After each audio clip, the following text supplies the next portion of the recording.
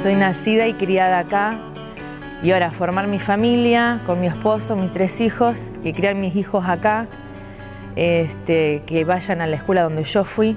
Tienen otra ventaja que tienen el secundario que yo no lo tuve. Yo no tuve jardín, hoy hay hasta salita de tres. Pero un espacio cerrado así, más eh, lo que significa ¿no? un salón de, de usos múltiples, digo, es una ventaja para toda la localidad.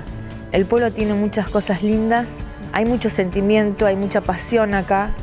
Que mis hijos terminen su educación acá, ya tenemos esta ventaja también de tener el secundario, de seguir este, construyendo sueños, porque creo que toda familia tenemos sueños. Me encantaría que mis hijos formaran una familia también acá, como yo la tuve.